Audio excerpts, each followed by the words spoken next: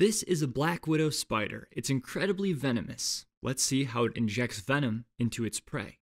Take a close look at the black widow's face. You'll see two extensions on either side of its mouth.